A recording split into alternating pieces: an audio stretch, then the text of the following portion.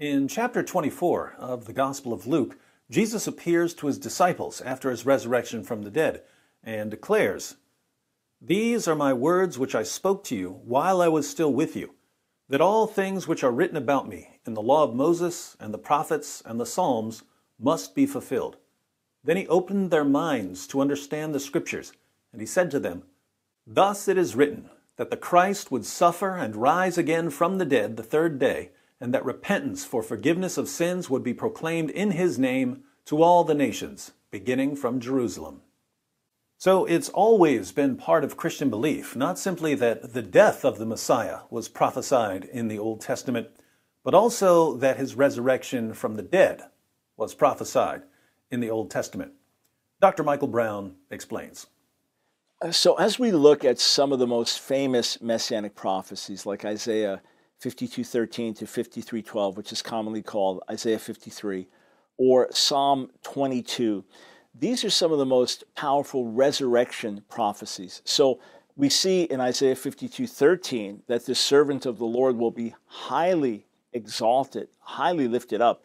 An ancient homiletic rabbinic commentary called the Midrash says that, that he'll be higher than Abraham, more exalted than, than Moses, even more lifted up than the ministering angels. And yet, first, he suffers terrible disfigurement, suffers actual death that we read of in Isaiah 53. And yet, it says he will prolong his life. So, how do you prolong your life after death? It is called resurrection. There's even an interesting passage that says he will see seed. Now, some say that means he'll have physical children. Actually, it's a unique expression that's found only there in the Hebrew Bible. But how do you see anything, offspring, posterity after death? It's called resurrection. So it's speaking of a future seed, a future generation of Israel that he'll see, or his spiritual disciples. He will see that after death. And then in Psalm 22, the, the psalmist is delivered from the jaws of death. And it's interesting, the language there could well describe the language of crucifixion. And Psalm 22 was written before crucifixion existed as a, death penalty. It was not known in ancient Israel at that time. And, and, yet it describes the, the psalmist being publicly exposed and stretched out. And, and it could well be based on ancient Hebrew text that it says, They pierced my hands and my feet.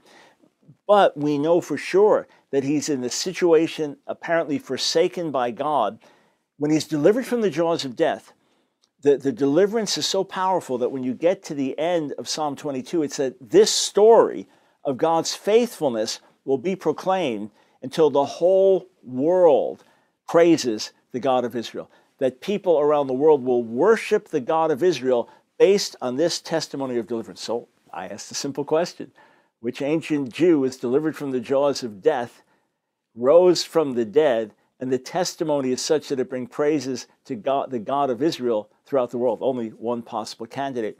You even have passages like Psalm 16 which, uh, on, on, the most basic meaning, it seems that the psalmist is speaking about being delivered from death and delivered from suffering. But the language is interesting because it's not just speaking about death, it, it uses terms about corruption and the netherworld.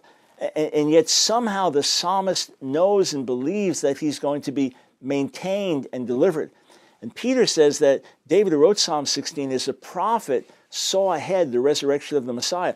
David may have been meditating on his own life and seen himself protected and delivered by God, but what he's actually seeing, and now he understands, he's actually seeing the resurrection of the Messiah. He's the one who is delivered from corruption. And interesting, interestingly, rabbinic Judaism says that there are seven people who are actually delivered from the corruption of the grave, David being one of them. So it's not speaking of a literal resurrection, but, but Peter in Acts 2 understands, yeah, that's what Psalm 16 is literally speaking about.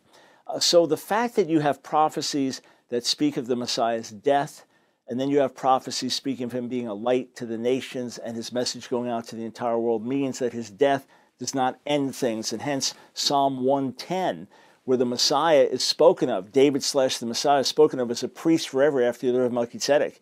So the priest makes atonement for sin, deals with sin, takes our place as an intercessor that it says to this one, Sit at my right hand until I make your enemies a footstool for your feet.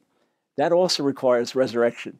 if you're going to die an ignominious death, if you're going to die and suffer for the sins of others, and yet sit at the right hand of God until your enemies are put under your foot, that requires resurrection. And it's interesting that out of all passages in the Hebrew Bible, the one that's most often quoted in the New Testament is Psalm 110, the Psalm of the resurrection and ascension.